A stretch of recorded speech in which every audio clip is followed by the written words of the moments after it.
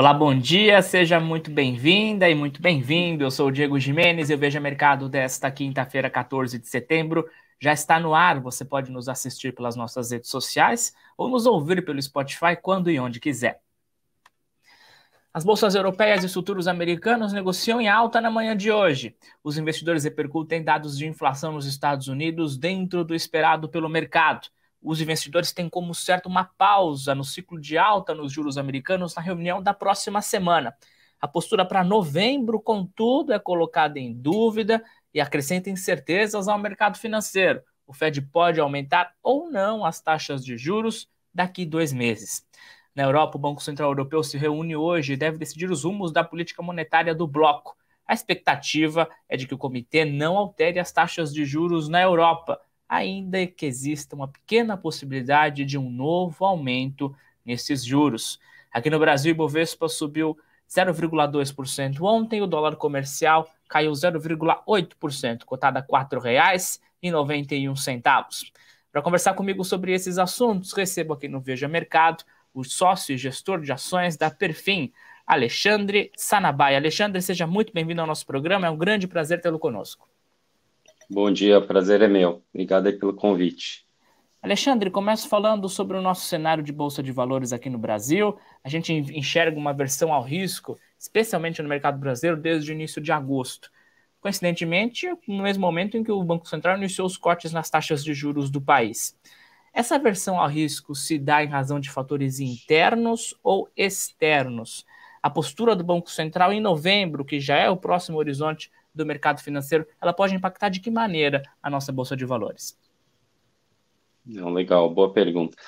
É, apesar da gente ter visto vários ruídos né, internos, principalmente ligados aí à, à questão tributária das empresas, né, muito questionamento, enfim, de benefícios fiscais, ICMS e outras coisas, é, o maior impacto que a gente viu né, nesse último mês na verdade, está relacionado ao mercado externo.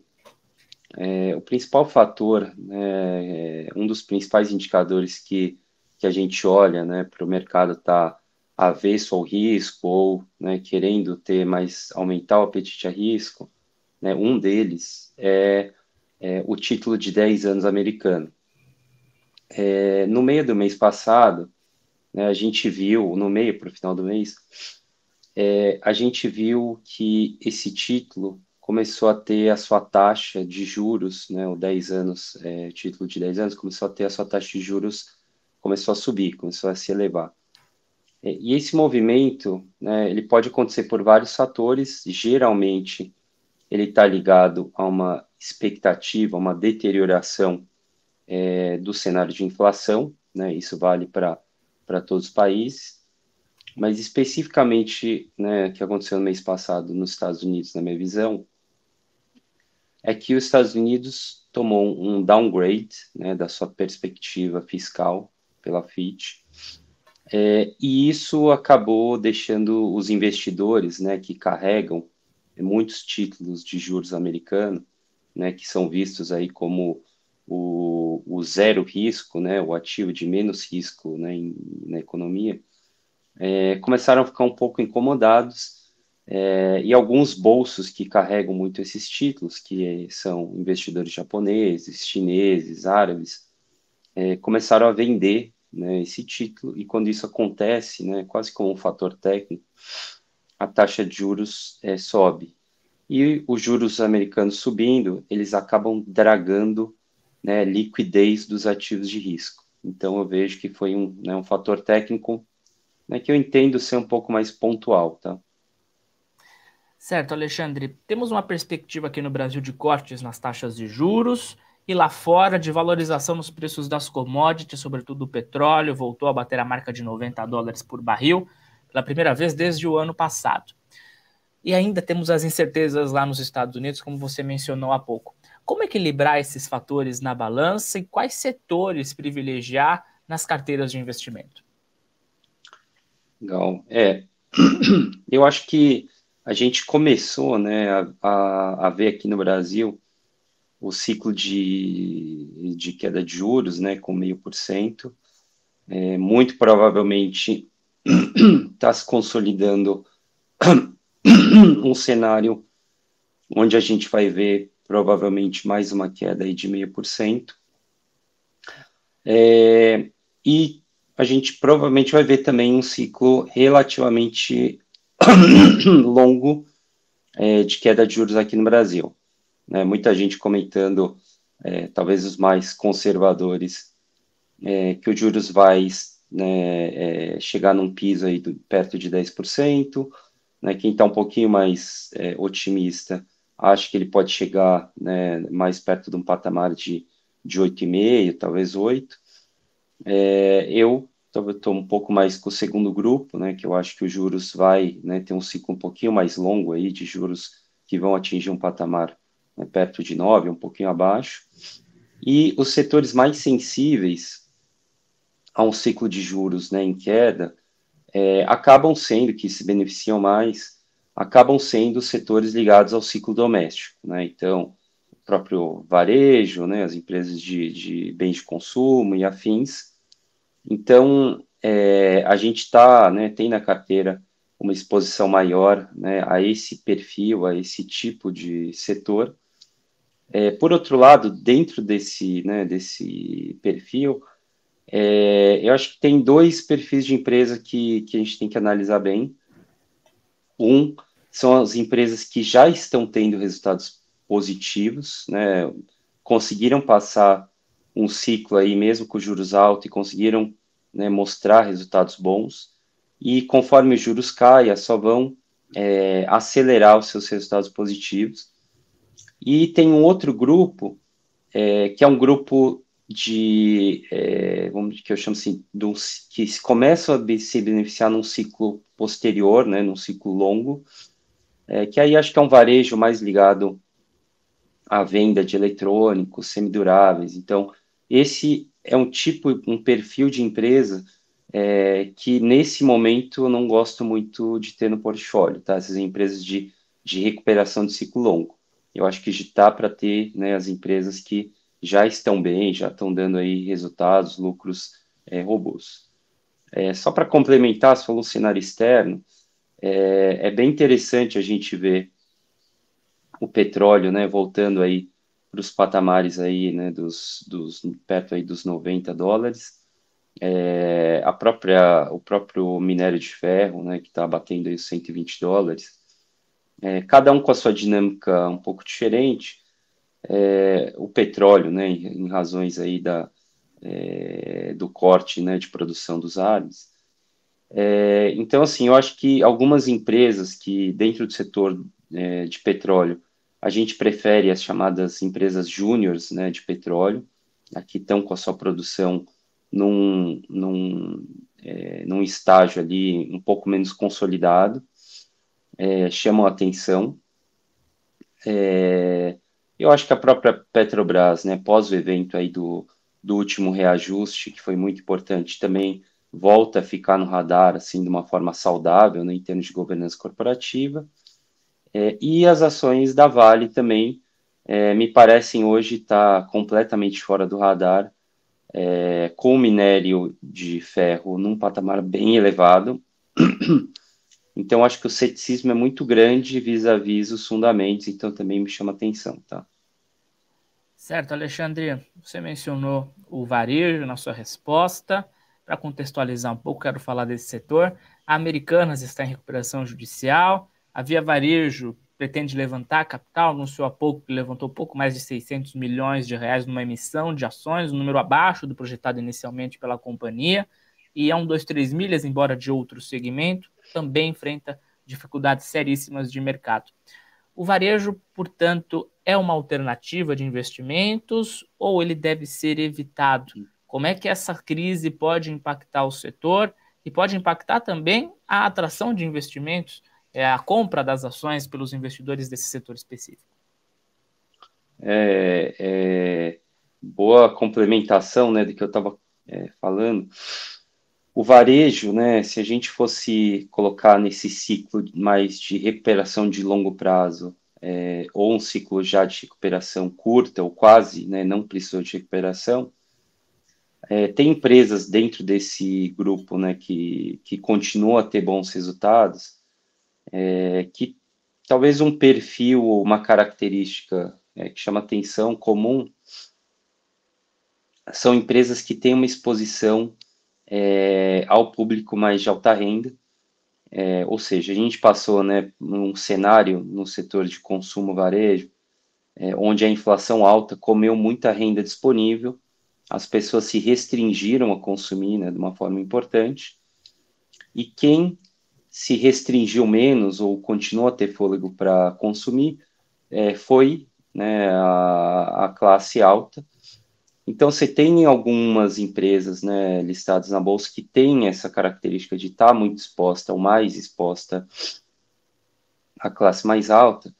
Então, nesse momento, é uma característica interessante. Né? Você pega, por exemplo, é, empresas aí do setor de joalheria né, listadas na bolsa. Acho que é, se, se a gente acompanha os resultados dela durante esse ciclo difícil dos últimos dois anos, né, de juros subindo, é, esse setor teve é, resultados muito bons. Né? Os resultados foram muito resilientes, né? margens é, boas, constantes, estáveis, é, crescimento de receita, crescimento de lucro. Então, é uma característica que, que, e perfil de empresa que a gente gosta.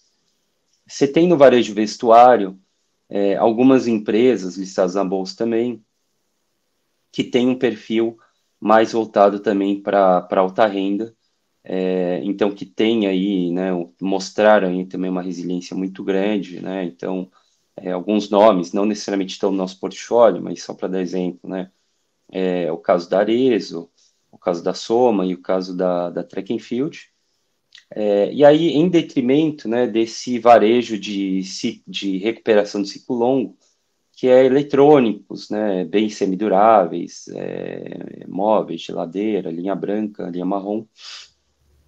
Por quê? Porque os resultados hoje estão bem aquém né, dos seus melhores dias, é, para falar a verdade, estão, estão, na verdade, bem negativos.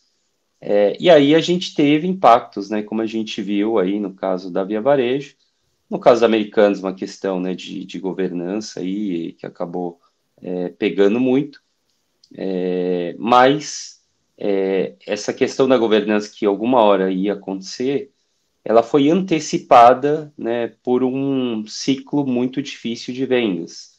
E, obviamente, que né, isso impactou a alavancagem, e aí, em algum momento, é, ficou difícil de continuar, vamos dizer assim, né, é, é, mantendo ali né, as, as práticas mais agressivas. É, e a própria, enfim, né, as empresas aí do, do setor né, ligadas a eletrônicos, acho que estão tendo um momento aí de ciclo complicado.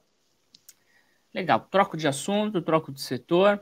Quero entender na sua avaliação, na sua visão, como é que essas incertezas e essa recente aversão ao risco no Brasil é, podem atingir as chamadas small caps, as empresas menores listadas em bolsa. Elas são uma alternativa de investimentos, uma alternativa para aumentar a lucratividade, ou os riscos embutidos são muito elevados nesse momento?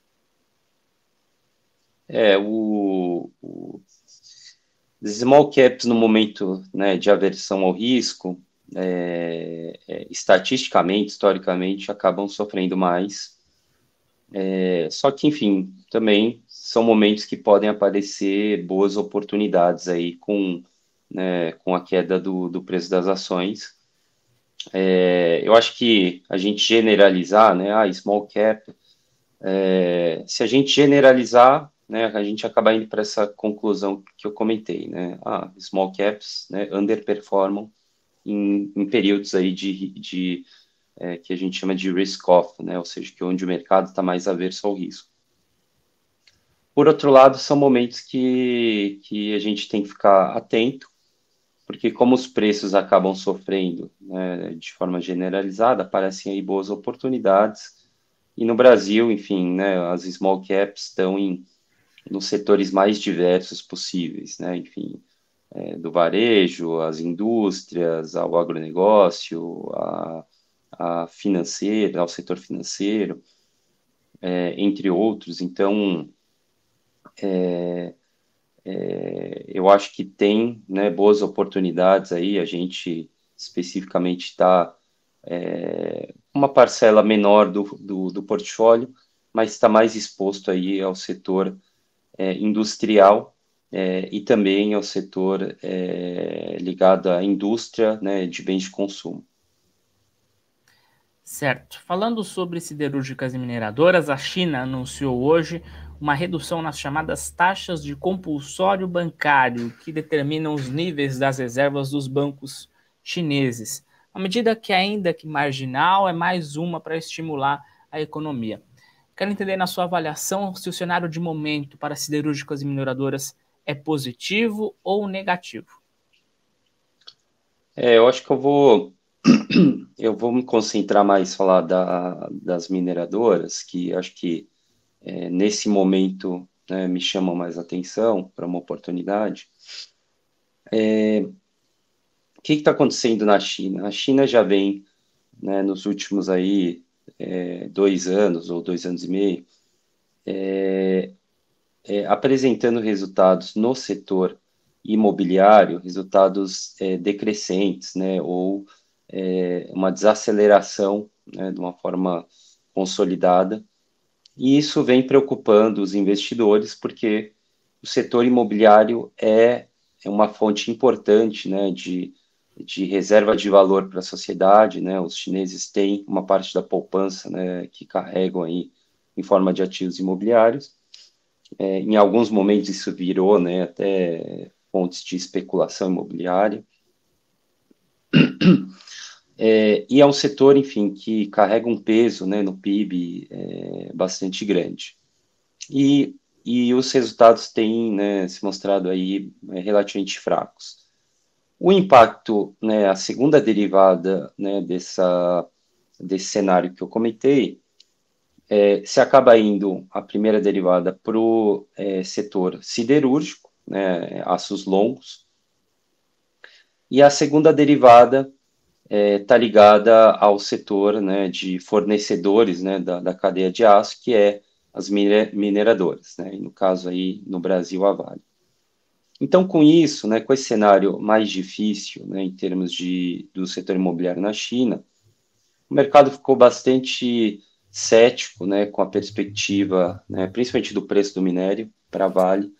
As ações da Vale, que em algum momento no começo do ano chegaram a atingir aí um, uma cotação é, próxima aí de uns 96, 97 reais, é, caíram também para algum momento aí nos últimos, né, nos últimos talvez um mês, um mês e pouquinho, para uma mínima né, é, perto de 60 reais, é, é, implicando esse cenário mais difícil. Porém, você vai falar, bom, e o preço do minério de ferro? O preço do minério de ferro chegou em algum momento a ter uma queda mais acentuada, é, para baixo, talvez um pouquinho abaixo do patamar de 100, 100 dólares né, a tonelada, refletindo esse cenário mais difícil.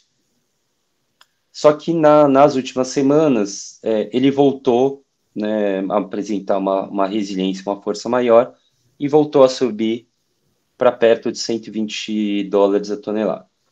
O que, que o mercado começou a perceber, e eu acho que ainda, é, apesar de começar a refletir no preço do minério, ainda está longe de refletir no preço da Vale, é que o mercado de aço na China, né, de siderurgia, é, não necessariamente aço longo, é, mas também, tá, tá, tam, também faz parte, ele está bastante forte. Os volumes de produção de aço na China estão muito fortes.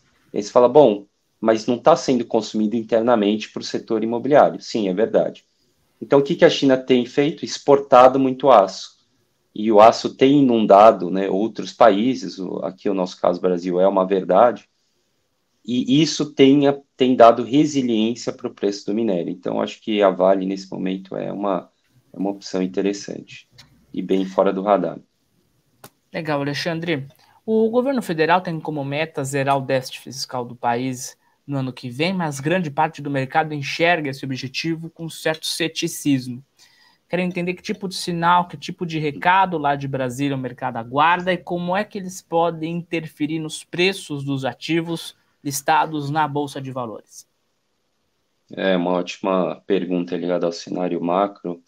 É, eu acho que existe, bom, existia primeiro uma promessa, né, é, logo na entrada do governo, que o mercado estava bastante cético, depois foi apresentado aí a, né, o substituto do arcabouço fiscal, junto com né, o orçamento, é, então, eu acho que existe sim uma boa vontade do mercado é, em querer, é, querer acreditar né, e querer é, colocar isso no preço, né, que o governo vai conseguir entregar muito próximo aí de um déficit fiscal zero ano que vem.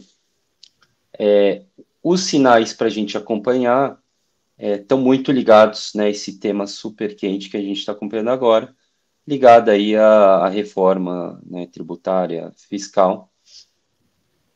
É, e o que a gente está vendo aqui é, tem existido um esforço muito grande, é, até um pouco, talvez, é, é, um pouco descoordenado, é, de esforço de aumento da carga tributária. Apesar né, de, na mídia, né, comenta-se muito que não, não vai haver um, um, um reforço, um aumento da carga tributária. É, na prática, com, se a gente colocar todas as medidas né, que estão sendo aí é, comentadas na, na mídia, né, e cada semana aparece, enfim, uma, um esforço ou uma medida potencialmente nova, é, é, os riscos né, que a gente vê de, do lado né, das empresas, da sociedade, é que sim se aumente a carga tributária de uma maneira é, relevante. Uh, então, às vezes pode não ser necessariamente um aumento, um aumento na, na taxa de tributação, mas pode ser um fim de um benefício fiscal, por exemplo, né, que não deixa de ser um aumento da carga tributária para algum setor, alguma empresa. Então, a gente vê que o governo está tendo um esforço muito grande, é, e aí, óbvio, esse esforço muito grande de aumento da carga é para sim tentar entregar né, um déficit zero. Agora a questão é o quanto que a sociedade, né, refletida aí pelo Congresso, é, vai aceitar né, todo esse aumento, fim de subsídios né, e afins. É, então, enfim, é uma questão que eu acho que é, hoje não dá para bater né, no, o martelo e dizer que vão entregar. Eu acho que existem sinais, sim, um esforço é, que a Fazenda está querendo entregar. Mas, por outro lado, é, eu acho que tem um Congresso ali que precisa né, ter uma negociação. É, e acho que o Congresso hoje está equilibrado, né? ele entende que, de um lado, também não dá para aumentar, super aumentar a carga, que no Brasil já é muito alto, mas também não dá para entregar né, um orçamento com déficit. Tá? Então, eu vejo ainda com uma relativa probabilidade uma entrega aí muito próxima aí do, do déficit zero. Tá? Perfeito, Alexandre. Para fechar o nosso programa, temos alguns fatores aqui que a gente colocou na mesa ao longo do programa: reforma tributária, é, meta de zerar o déficit fiscal, perspectiva de cortes nos juros brasileiros e ainda algumas incertezas nos Estados Unidos. Pensando até o final do ano, quais fatores que ainda não estão no radar do mercado, que ainda não estão precificados na Bolsa de Valores, podem surpreender, destravar valor da nossa bolsa e do lado oposto, o que, que pode travar de vez o mercado de renda variável? É, o... eu acho que o, o, o, fator que a gente começou comentando, né, o, o juros americano, é, existe, né, foi, teve um estresse pontual, né, quase técnico, né, por que, que os juros subiram, mas existe sim uma perspectiva né, que nos próximos seis meses, seis, sete meses, a gente comece a ter bons sinais né, de uma queda é, dos juros americanos. É, e qualquer mudança nesse cenário base, né, que é, prolongue aí um cenário de uma inflação ou de uma resiliência, de uma atividade mais forte nos Estados Unidos, e faça com que os investidores entendam que os juros não vai cair né, nesse nesse, nessa perspectiva de tempo que eu comentei, eu acho que pode ser um, uma fonte uma fonte de estresse né, para o mercado. É, e aí acaba sendo uma fonte né, de estresse para para grande parte dos ativos de risco, né? Então, mercados emergentes, Brasil, né? Tá tudo no mesmo bolo. É, no Brasil, é, como eu comentei, eu acho que a gente está passando por um cenário é, bastante né, perto do que foi os últimos dois anos e meio. Acho que a gente está passando por uma, um cenário de uma razoável previsibilidade é, né, em termos de inflação e juros é, é cadentes, né, no, olhando aí um, talvez o próximo um ano, um ano e meio. Isso, né, é, historicamente, né, e por fatores né, fundamentais, é, vão impulsionar, sim, né, uma retomada é, no fluxo para ativos de risco, né, de uma forma é, relevante. É, e eu acho que os solavancos né, nesse processo é, de uma retomada para os ativos de risco, aqui olhando só o nosso mercado local, estão ligados a esses fatores da, das reformas. Né? Então, você tem aí um primeiro fator né, que a gente está discutindo agora, que é a tributária.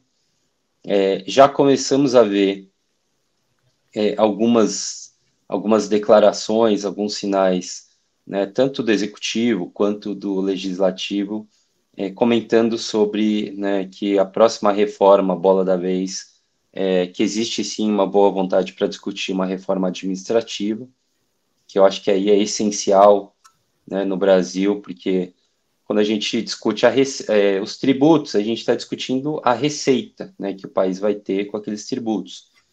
E quando a gente discute a reforma administrativa, a gente vai discutir as despesas que aquele país tem né, com a sua estrutura, com a sua máquina né, é, estatal. É, então, eu acho essencial, eu acho que, enfim, é, uma reforma administrativa, por exemplo, está completamente fora, fora do radar, né, e poderia ser um grande impulsionador. É, por outro lado, né, a questão é, tributária, é, se mal conduzida, também pode emperrar bastante coisa, né, como eu falei, porque aí ela bate né, numa é, numa projeção de déficit fiscal ou não para o ano que vem, então pode ser também um percalço muito grande. Tá certo, Alexandre. Quero agradecer sua presença aqui no Veja Mercado. Foi um grande prazer e as portas estão sempre abertas. Até uma próxima. Prazer foi meu. Obrigado. Valeu, até mais. Antes de encerrar o nosso programa, vamos ao que será assunto ao longo do dia na Bolsa de Valores. O Grupo Casas Bahia, antiga Via Varejo, anunciou uma emissão de novas ações no mercado e levantou 623 milhões de reais nessa emissão. Isso significa que teremos novas ações do Grupo Casas Bahia listadas na Bolsa de Valores. Cada investidor pagou o equivalente a 80 centavos pela ação do Grupo Casas Bahia. A expectativa da empresa era de levantar um bilhão de reais, portanto, levantou menos do que o esperado. Além disso, temos uma surpresa lá na Europa. O Banco Central Europeu surpreendeu e aumentou as taxas de juros da Europa em 0,25 ponto percentual. As taxas agora estão em 4,5% ao ano. A expectativa do mercado era de que elas fossem mantidas na reunião desta quinta-feira. Passando brevemente pelos indicadores, o dólar comercial abre o dia em queda de 0,3%, cotada a R$ 4,90. Já os futuros do índice Bovespa, que mede a temperatura do mercado antes da bolsa abrir, negociam em alta de 1%. Ponto final nesta edição do Veja Mercado. Quero agradecer sua companhia, sua audiência e lembrá-lo sempre que o nosso programa vai ao ar de segunda a sexta, transmitido nas nossas redes sociais e no nosso canal no YouTube. Se inscreva para ser avisado assim que a gente entrar no ar. Ouça também o Veja Mercado pelo Spotify quando e onde quiser. O Veja Mercado é oferecido pela JHSF. Amanhã estou de volta e a gente se encontra aqui. Até lá!